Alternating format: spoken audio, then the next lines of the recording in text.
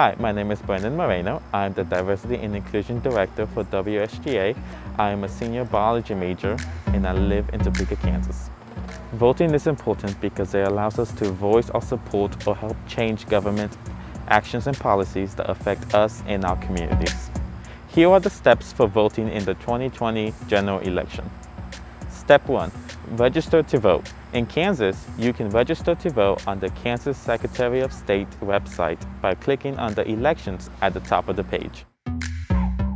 Step 2. Research the candidates. You can learn more about who each candidate is, where they are from, and their experience in politics by going to the campaign's websites. Step 3. Research the issues that are important to you.